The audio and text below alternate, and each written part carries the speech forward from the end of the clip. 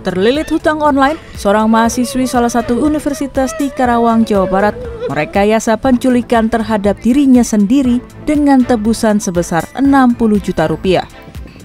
Wanita berinisial SAD ini juga meminta keluarganya tak menghubungi polisi.